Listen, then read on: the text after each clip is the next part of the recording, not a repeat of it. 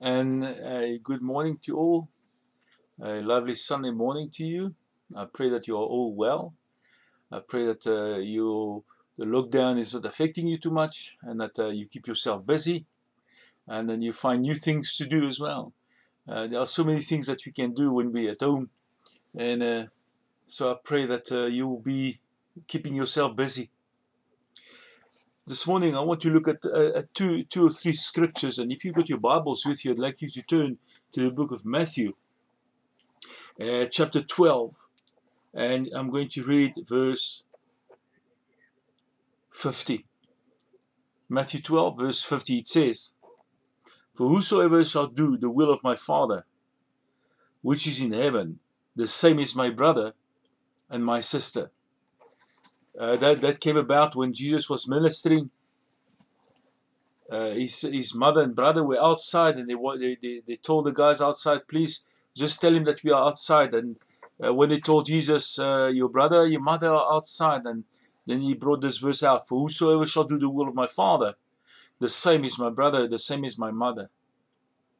And I want us this morning to understand uh, where we come from with this. Uh, let's go. Let's go to the book of John. We just want to get some supporting scriptures to that. John chapter 5. And we read verse 19. John, John chapter 5, verse 19. It says, Then answered Jesus and said unto them, Verily, verily, I say unto you, the Son can do nothing of himself, but what, the, what he sees the Father do. For what the things soever he doth, these also does the Son likewise. And then you go down to verse 30. John 5, verse 30. It says, I can of my own self do nothing as I hear, I judge. And my judgment is just because I seek not my own will, but the will of the Father which has sent me. So, when we speak about the ministry of Jesus, when we speak about the success of his ministry, there are many things we can uh, that can be uh, linked to his success. We can say, well, uh, you know, you, the Spirit of the Lord was upon him. Uh, God anointed him. Uh, he, he knew the Word and he knew all this. But I believe that one of the main factor of his ministry, one of the main factor that made him a successful ministry, is exactly what we read: is doing the will of the Father. When our heart has purpose to do the will of God, then uh, it will it will make the way.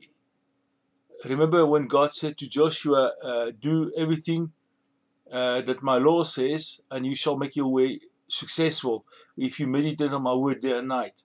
Meditating on the word is finding out, and as I spoke before, is finding out what God thinks and how God sees things and what God says. And here we have Jesus saying that I do nothing of my own. What I see the Father do, I do. What I hear the Father say, I say. He said, I can uh, of my own, I can do nothing, and we, we find ourselves in that situation as well. When we are, when it concerns the affairs of the kingdom, we can do nothing of our own, but except through the Father.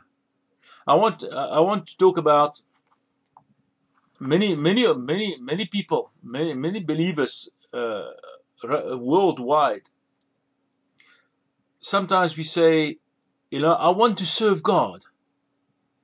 I really want to serve God. As long as it's not inconvenient for me.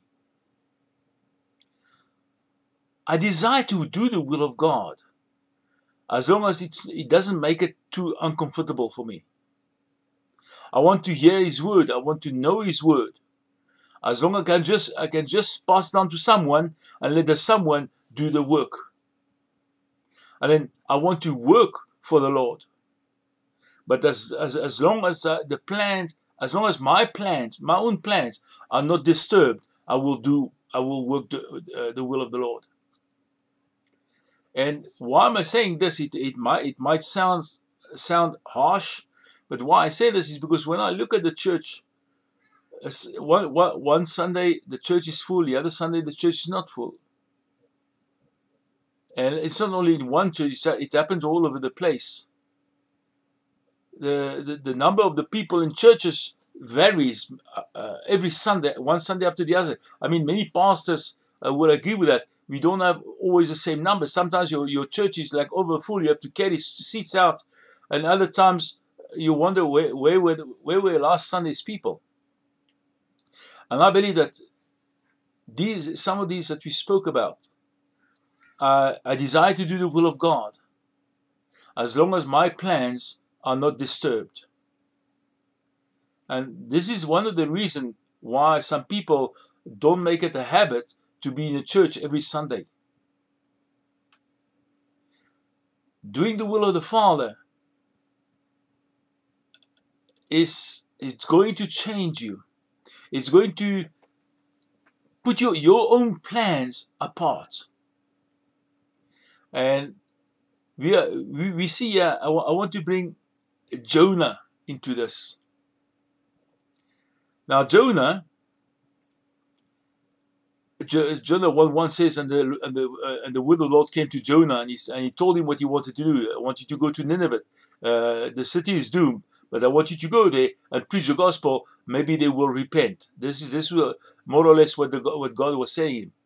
And here we see jo- Jonah running away. Now, again, we, we, can, we can discuss many reasons why Jonah went away.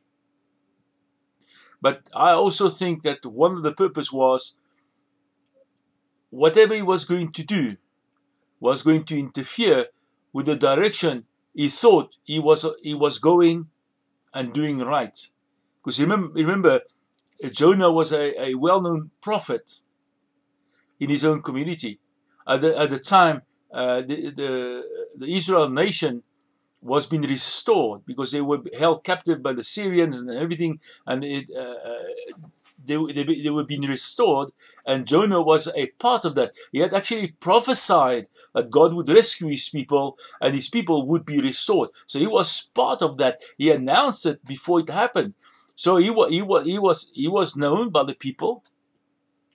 He was esteemed by the people. He was respected by the people.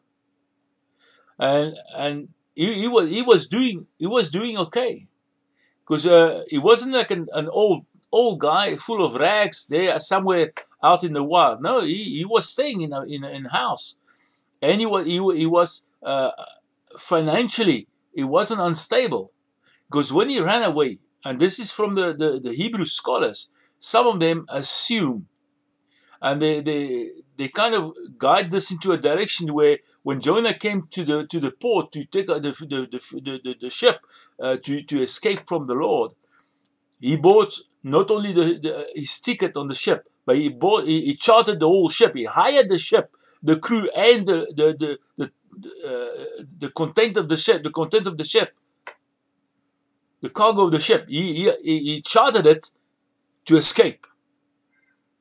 So he wasn't doing too too bad. But then he he, he just ran away. He, he, he, he figured he knew God. Because you know in order in order for for for us to be in the will of God, we have to hear from the Lord. We have to be willing to speak what the Lord says, and we, to, we must be willing to obey what the Lord says. These are some of the things that the, a prophet must go through. And Jonah knew God. And he knew this Nineveh, if he, if he was going to preach the word to them, the chance of them be repenting was better than the chance of them not repenting.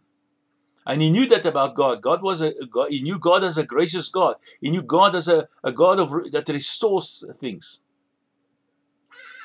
And but it, interfered with his own plans because he didn't want Nineveh to be saved. He, he says, no, you know, they deserve, they deserve what they get. But God had other plans. And this is one thing that we need to understand. In the kingdom of God, everybody matters. Even those outside the kingdom matters to God. Because God loves everybody. Loves, he loves the whole world. He hates the sin. He loves the sinner. And he wants to use you and me to reach the, the, the sinners outside there. He wants you and me to reach the people and get them into the kingdom. And So here we come to a position in our own lives right now.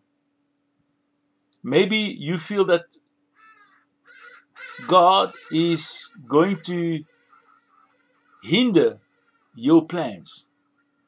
I know many people make plans for their lives. They, they want to achieve this and they want to get to this point and they want to have this amount of money in the bank or whatever. They want to have this, they want to have that, and they want to go out. Now, one, one thing that we, we have to take note Jesus, when his disciples followed him, and remember the parable of the rich man, he says it's harder for a rich man to enter the kingdom of God than for a camel to go through the eye of a needle. That was a parable. And his disciples were listening. Now, for those who, for those who, who, uh, who assume that poverty is part of Christianity, when Jesus brought that parable out,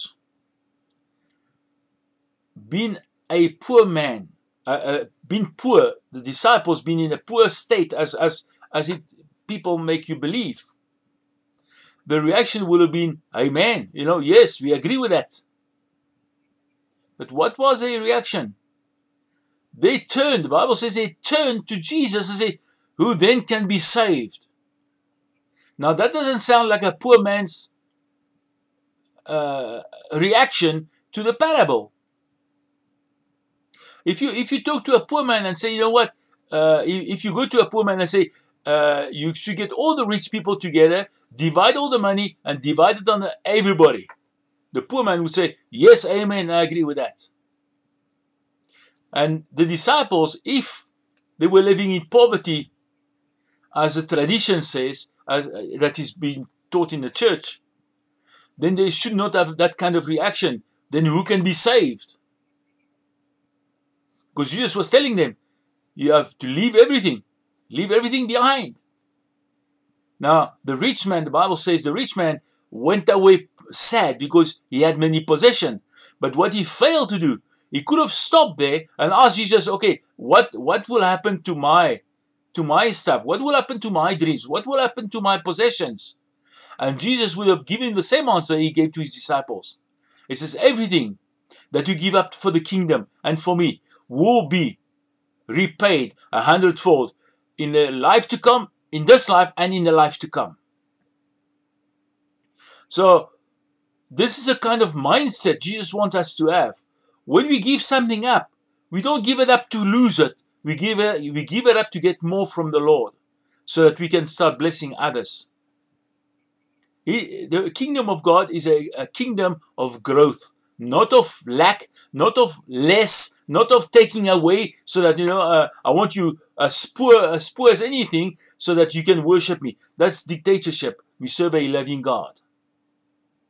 We serve a loving God. So there's no there's no there's no such a thing as you know oh I'm giving everything up for the Lord. Well, if that's your decision, if you want to live like this, it's okay. But it's not it's not a a law that we must live by. Some people want to do that praise God. Do that if you if you want every, give everything to the Lord. That's that's that's okay. But God doesn't want us to lack in anything. Does God doesn't want to have less in anything. What God wants is that everything that you have must be surrendered to Him. Everything. And when you are when you give everything up for the Lord, you never lose anything. It's when you start keeping things that you lose it. So when we look at Jonah, we need to look need, need to look uh, at our lives as well. You know, there's a confusion sometimes between a comfort zone and a, and a day of and, and the rest that God speaks about. The Bible talks about uh, the, the Elijah rest for the children of God to enter in. Now, don't don't don't confuse those two: the place of rest for the children of God and the comfort zone. One is God given, the other one is not. The comfort zone is not a God given thing. A comfort zone is when you refuse to move forward. Because the things around you are now so comfortable and so well and so good, and now you know exactly what to do, how to do, and whatever you're doing is working for you. Now you kind of know, uh, let's not stir the pot, let's not uh, uh, you know, listen too well to the Lord because He might He might get, get me to change my direction. He might get me to go in some other way. That's the comfort zone. And if you go to scriptures, The comfort zone is a, pla- a place of backsliding. So if you think you're in comfort zone, you're actually moving backwards and you are backsliding. That's scriptural. So the comfort zone is not the same as the rest of the believer. Uh, the, the rest of the believer, and we, we, will, we might talk about it some other, other time, but the rest of the believer is a place of authority. Where the comfort zone is a, a, a place of idleness, where because of the way you are, the, the things that you have now, you don't want to lose, so you're not going to move forward. You're not going to listen to the to the to the uh, the prophet of God. You're not going to listen to the will of God. You're not going to listen to the voice of God. You're not going to listen to the Holy Spirit because you are scared that the moment the Holy Spirit speaks to you, you're going to start losing what you've been comfortable with. So there's a place of, surrendering your life to, to God in such a way that it doesn't matter. Everything is everything is God's anyway. So God, whatever I've got, if you want to use it, use it. I know that you're going to give me more of that, and you're going to bless me more, maybe of the same thing, but something that will be more beneficial for me. It will that whatever you God's give us, uh, uh, whatever God's going to give me when I give of myself, will promote me will move, make me to move forward, will make me grow, will be beneficial for me. When you when you when a, when a, when you look at a plant outside in the garden and you see the plant is not reacting the way it should be, it's not growing as well. What happens? You dig a bigger hole, you take the whole plant out, and you go to a place where you know, okay, then you just realize this plant needs more sun. It needs more sun uh, and less shade. So what happens? You, you dig a big hole, you take it out, and go put it to a place where you know this plant is going to be to have more, more, more of the sun and less of the shade. And you plant it there, and within a year, this thing is like almost double the size. Now it's it's it's been found in the environment that it's supposed to be. And as children of God, this is a place that we need to be in a place of development, in a place of growth, in a place of forward movement. And that is attained when you reach that place of rest that God's got for his believer for the believers. Because the place of rest is a place of authority. You've got authority over the things around you, and God starts, can now start moving you forward. Where the place of uh, the comfort zone is a place where you don't want to move forward because whatever you have right now, it's so nice. Now, very quickly, I want to say that a comfort zone is not always where a place where uh, you don't want to uh, stir the pot. It's also a place where you brought yourself because of something that has happened. Either in your life, in your family, in your job, and you are frustrated and you are upset and sometimes upset with God and you're you're mad at God for some some other reason, and now you you just put up barriers and you you you put yourself into a, like a, a small uh, enclosure where you think this is where I'm going to say. I don't, I'm not going to launch out. I'm not going to uh, be so diligent in my prayer time. I'm not going to be diligent in going to church. I will, I will have a bit of the world with me. I will have a bit of the church with me. And that's your comfort zone. And I, and I can tell you now, based on scripture, this will never work. God will not, will not interfere with that because God is a person is a, is a, is a, is a person that says it's your own will to serve me. And this is what we read. Jesus' whole purpose was to do the will of God. And that's the success of his ministry. And if you want to make a success uh, yourself as a Christian, as a believer, then the, the, the, the foundation of that is doing the will of God. And this is what the kingdom of God is about. It's a kingdom of God, not the your kingdom, not the God, next door kingdom. It's the kingdom of God. When you are in the kingdom of God, you do the will of God. You know, you don't go, you're not going to go there and stand still and say, you know what, I am very happy the way I am. Uh, I'm going, I'm going to church quite regularly, uh, but I don't want to be involved in anything. I just want to go home and enjoy my Sunday roast and whatever, uh, and enjoy, when, read the, the, read the Bible whenever I want. I don't want to be pushed around doing certain things that will disrupt my plans for my life. And right now, you know, you know, some of you, you know right now as I'm speaking to you, you know you're not at the place where you should be. You know that. Whether you've been in a comfort zone because this is a this is a and you you you're going to church and you are reading your Bible, you are doing prayer and everything, but you're not moving forward. You are escaping, you are running away as Jonah did. You are running away from what God wants you to do. You are running away from, uh, uh, in a sense where uh, you, you are not effective in the calling that God has for you. And it's it's it's a place, it's a dangerous place because you get so used to not going to church regularly. You get so used of not reading the Bible regularly. You get so used to, uh, you know, I, I, can pray now and then. It's it's fine. Uh, uh you know, we've got we've got that that saying. God understands my my position. Agree. God does understand, but God wants you to move forward. The kingdom of God is a kingdom of growth, a kingdom of expansion on all levels, on all areas of life. When you are in the kingdom, we are supposed to grow. And uh, I, I, I, wrote, I wrote something uh, this morning. Jonah. I mean, it's four chapters. The book of Jonah is only four chapter. But up to today, millions of people have studied the book of Jonah. Millions of people. It's, it's been taught into the Sunday school. It's been taught into the. I, am a big fan of it. I talk about it in Bible class. I, I, I, speak about it. I explain a lot of things about it. It's only four chapters, but it's a, like an ongoing study. And millions of people are studying the book of Jonah. And Jonah could have missed the biggest supernatural event of history if he kept running away. Jonah left a mark because at the end he repented and he did what he what he did. He did what he, he was supposed to do. And the fact that he did what he did and Nineveh got saved as repercussion in the annals of history. It changed the world.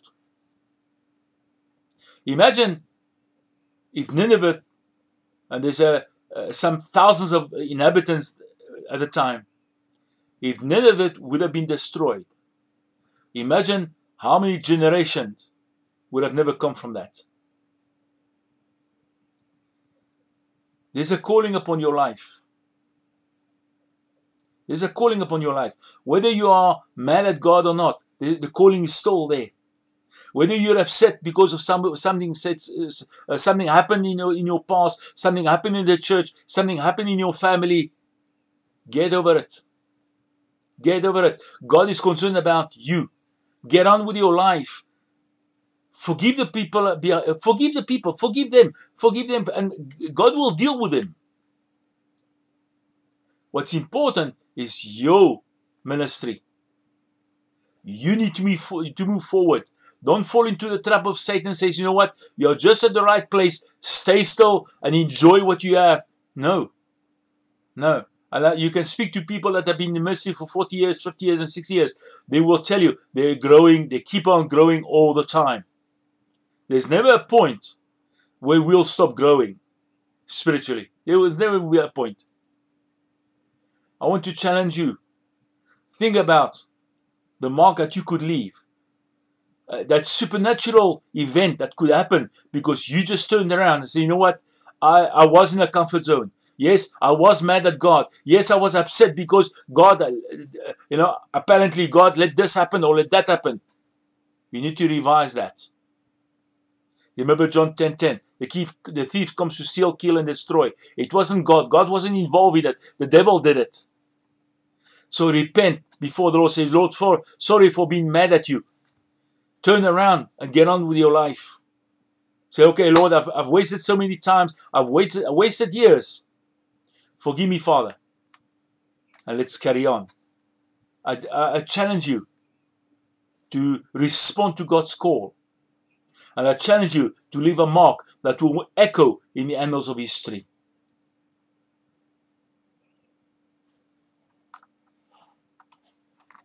My friends, my families, my loved ones. God bless you. God bless you this week. God bless you in abundance. May you take your calling, make your calling and election sure. May you become serious about your calling and see the supernatural event that God will bring in your life. God bless you. Shalom.